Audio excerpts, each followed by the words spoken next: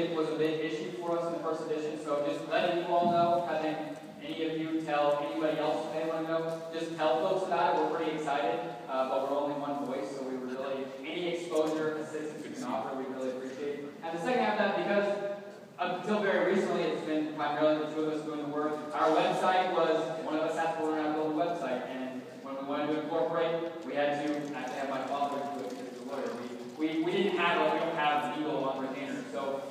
been sort of wearing many hats, so if you know anybody who wants to be involved, uh, we don't have specific openings or work needs, but we can sure use some help. So I don't can't specific in that, but we can sure use some help.